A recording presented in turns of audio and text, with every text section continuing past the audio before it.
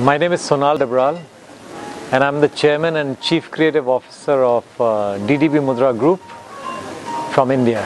So, uh, advertising uh, blackjack and single malts are uh, an very interesting topic for me because uh, these are the three things that I really like. I like, I love advertising. Uh, I love blackjack. I love playing blackjack, and I love playing. I mean, I love having single malt. I like single malt. Uh, and I found uh, that uh, both single malt and uh, blackjack, there are life lessons in both these things, you know, if you really look at it. There are lessons that you can learn from blackjack that you can apply to life.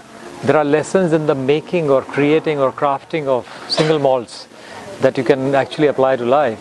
And more so, actually, both these uh, have uh, learnings that we can very nicely apply to advertising. So when I started to kind of go deeper into these passions of mine, I started to see a lot of commonality between the two and uh, how some of these learnings we can apply into our day-to-day work in advertising. So and so what I spoke about in this this workshop in this presentation was essentially that uh, advertising has got obviously many facets to it in terms of when we come up with a creative idea when anybody comes up with a creative idea.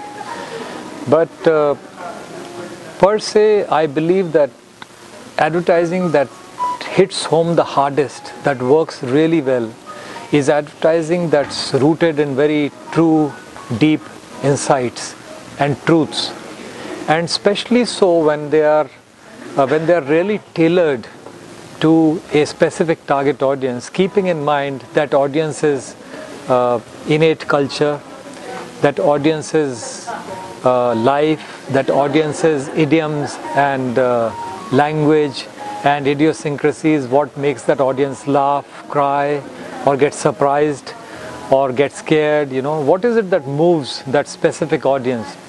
And to me, uh, advertising that's rooted in culture and I call it the magic of culture and advertising that's rooted in culture really works well.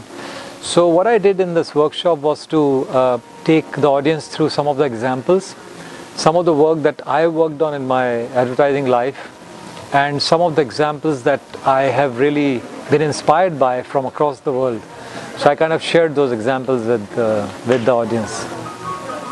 Self-discipline, a thorough knowledge of the subject, uh, not losing your head, not getting uh, despondent or too angry or too euphoric. All these, all these are important rules which turn you to, turn you into a, or can turn you into uh, a winner on a blackjack table. And all these rules actually apply into advertising also. First and foremost, that no half knowledge. In advertising also you need to have a full full knowledge of your target audience of the product that you're working on of the business problem that the client is facing. Once you have all this and sometimes you go out and even talk to the engineers if you're working on let's say an, uh, a car or a bike or you speak to designers or you speak to people who are actually creating that product whatever that product is what i'm trying to say is the more knowledge you have, the more deeply immersed you are in that knowledge, the better chances that you can come up with an idea that will connect or that will be relevant to people. Exactly like that happens in blackjack.